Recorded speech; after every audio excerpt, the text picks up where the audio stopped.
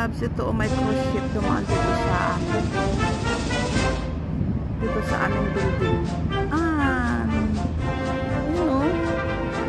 Sa likod may cruise ship na dumaan. Dito ako sa baba ng aming building. Ito ang view dito. No, tignan nyo sa taas. Hanggang uh, 62 floor ang taas ng building. Dito sa Island Resorts.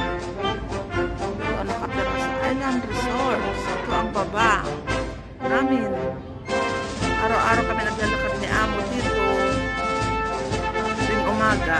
At yan na parte naman ay Chungkwan O. Yan. Nasa gitna yung ano, may fishing boat. May fishing boat. Yan naman, may nakaupo dalawa dyan. Sa ang sa banda na yan, dyan na, yung patchin. Kita na yung buntot ng ano doon, no? yung sa TST. Ay, oo. Ganda ng view dito sa amin. Hello mga lalabs! Dito ako sa baba ng aming building.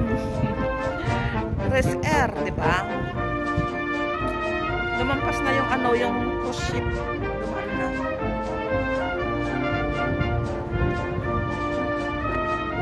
kata dia tu sahabat